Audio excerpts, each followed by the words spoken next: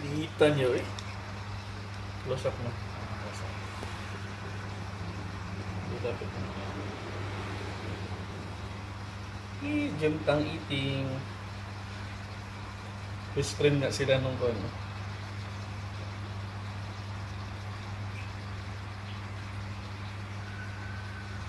Bakas kumain. Pag-agawan sa mga malalaki. Natakot pa siya.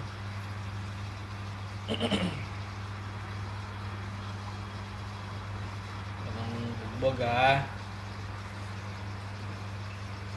Ito mo yung lalaki.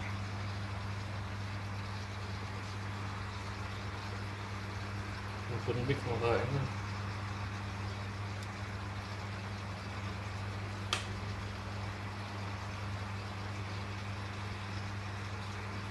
Ah, nakatatlong subo na sa kanila eh.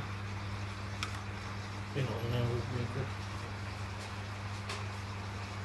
Uy, binubulo siya ng